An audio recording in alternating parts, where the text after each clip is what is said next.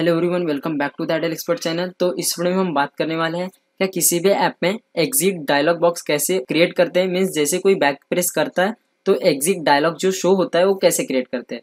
Okay तो सबसे पहले हम एंड्रॉइड स्टूडियो में आ जाते हैं एंड ये जो प्रोजेक्ट दिखाई दे रहा है, आपको न्यू प्रोजेक्ट का ऑप्शन है इस पर हम क्लिक कर देते हैं। तो जैसे हम न्यू प्रोजेक्ट पे क्लिक करेंगे, यहाँ से आपको एम एक्टिविटी को चूज़ करना है एंड नेक्स्ट बटन पे क्लिक कर देना है। एंड यहाँ से मैं अप्लीकेशन का नेम दे देता हूँ डायलॉग एप्स एंड यहाँ से आपको फिनिश पे क्लिक कर देना है। एंड ध्यान में रखना है, आपको लैंग्वेज को जावा ही सिलेक्ट करना है। अभी मैं फिनिश बटन पे क्लिक कर देता हूँ। तो जैसे हम फिनिश बटन पे क्लिक करेंगे तो यहाँ पे ग्रेडल बिल्ड स्टार्ट हो जाएगा। तो हम ग्रेडल बिल्ड फिनिश होने तक वेट करते हैं। तो आप देख सकते हो, यहाँ पे ग्रेडल बिल्ड फिनिश हो चुका है एंड यहाँ पे शो भी हो रहा है इंडेक्सिंग डिपेंडेंसीज ओके तो अभी हमें क्या करना है? होम एक्टिविटी में आ जाना है। जो भी आपका ऐप का होम एक्टिविटी रहेगा तो जो हमने अभी एक्टिविटी क्रिएट की है, इसका होम पेज है मेन एक्टिविटी ओके तो इसके जावा कोड में हम आ चुके हैं एंड यहाँ पे आपको क्या करना है, एक मेथड इंप्लीमेंट करना है। तो कंट्रोल ओ प्रेस करना है तो मैं यहाँ से कंट्रोल ओ प्रेस कर देता हूँ एंड यहाँ पे आपको लिख देना है ऑन बैक प्रेस तो मैं यहाँ से ऑन बैक प्रेस आप देख सकते हो यहाँ पे, जैसे हमने ऑन बैक यहाँ पे क्रिएट किया तो यहाँ पे मेथड आ चुके तो आपको ओके पे टैप कर देना है। तो जैसे हम ओके पे टैप करेंगे तो ऑन बैक प्रेस की मेथड आ जाएगी। एंड ये जो सुपर है, इसको आपको रिमूव कर देना है। यहाँ से आपको क्या करना है? आपको डायलॉग शो करना है, ठीक है? एग्जिट का। तो इसलिए हम क्या करेंगे? यहाँ से अलर्ट डायलॉग मेथड सिलेक्ट कर देंगे। तो मैं यहाँ से नेम दे देता हूँ अलर्ट डायलॉग एंड यहाँ से अलर्ट डायलॉग का आपको नेम का दे देना है? बिल्डर ओके तो सबसे पहले मैं alert dialog dot builder and name दे देंगे हम builder is equal to new alert dialog builder. Okay, इसके बाद आपको क्या करना है? जिस एक्टिविटी में हो, उस एक्टिविटी का नेम आपको लिख देना है। तो मैं हूँ मेन एक्टिविटी में। तो मैं यहाँ पे दे देता हूँ main activity dot this and इसको सेमी कॉलम से इसको क्लोज कर देना है। इसके बाद आपको बिल्डर ये जो है, इसको आपको सिलेक्ट करना है। क्योंकि हमने अलर्ट डायलॉग को इसको डिफाइन कर दिया है। तो मैं यहाँ से सिलेक्ट कर देता हूँ बिल्डर तो आप देख सकते हो जो बिल्डर है, यहाँ पे आ चुका है। तो इसका हमें टाइटल भी देना होगा। तो टाइटल में हम अप्लीकेशन का नेम दे देंगे, इसलिए हम लिखेंगे बिल्डर डॉट सेट टाइटल यहाँ से आपको पास कर देना है R dot string dot app name जो भी ऐप का नेम रहेगा, वो हमारा टाइटल हो जाएगा। एंड सेमी कॉलम से इसको क्लोज कर देना है। इसके बाद आपको बिल्डर प्रोवाइड करना है बिल्डर डॉट सेट आइकन जो भी हमारा ऐप का आइकन रहेगा, वही हम आइकन को यहाँ से सिलेक्ट कर देंगे। इसलिए हमने यहाँ पे लिख दिया builder dot set icon R dot कहाँ से लेंगे हम? मिप मैप से।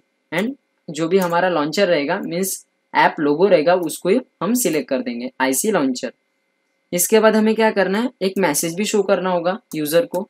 Builder dot set message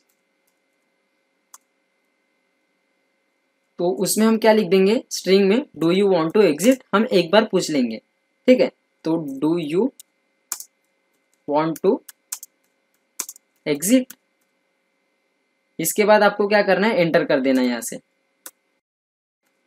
set cancelable भी हमें यहाँ पे क्लिक कर देना है।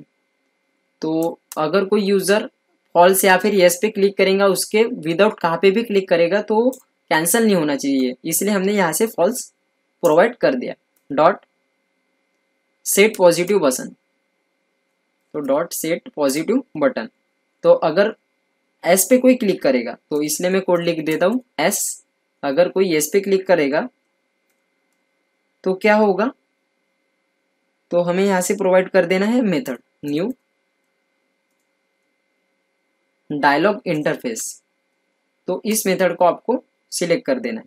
ओके तो आप देख सकते हो यहाँ पे डायलॉग इंटरफेस का खुद ब खुद यहाँ पे कोड आ चुका है। तो हमें क्या करना है? अगर कोई पॉजिटिव बटन पे क्लिक करेगा तो हमें प्रोवाइड कर देना है फिनिश तो यहाँ से आपको सिलेक्ट कर देना है फिनिश का ऑप्शन ओके, ये तो हुआ पॉजिटिव बटन के बारे में। अभी हम क्या करेंगे डॉट सेट नेगेटिव बटन भी हमें यहाँ से सिलेक्ट करना होगा। तो इसलिए मैं यहाँ पे डॉट दे देता हूँ। Dot set negative button and इसमें हम प्रोवाइड कर देंगे नो अगर कोई नो पे क्लिक करेगा तो यहाँ पे अगेन हमें कोड लिखना होगा। न्यू डायलॉग इंटरफेस तो ये होने के बाद आपको यहाँ से क्या प्रोवाइड करना है? Dollar interface dot cancel. तो आप देख सकते हो, अभी हमने डॉट सेट पॉजिटिव के लिए भी लिख दिया है एंड डॉट नेगेटिव के बटन के लिए भी लिख दिया है।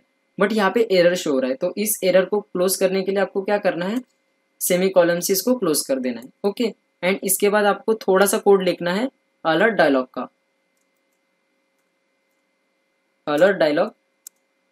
यहाँ से आपको नेम दे देना है alert dialog. Is equal to builder dot create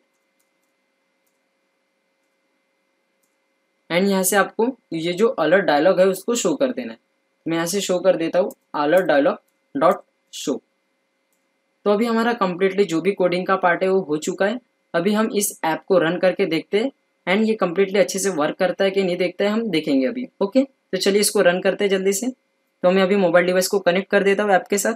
तो अभी आप देख सकते हो, यहाँ पे हमारा मोबाइल डिवाइस कनेक्ट हो चुका है Oppo R M X eight eleven अभी मैं रन ऐप पे क्लिक कर देता हूँ।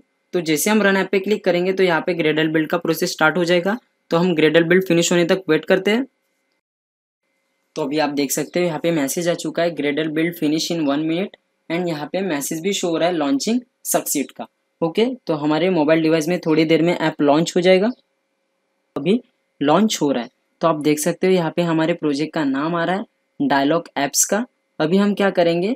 बैक पे क्लिक करेंगे, ठीक है? जैसे हम बैक पे क्लिक करेंगे तो यहाँ पे हमारा देख सकते हो, यहाँ पे जो हमने ऐप नेम इम्प्लीमेंट किया था डायलॉग एप्स वही शो हो रहा है एंड जो हमने आइकन सिलेक्ट किया था, वही हमारा आइकन भी शो हो रहा है।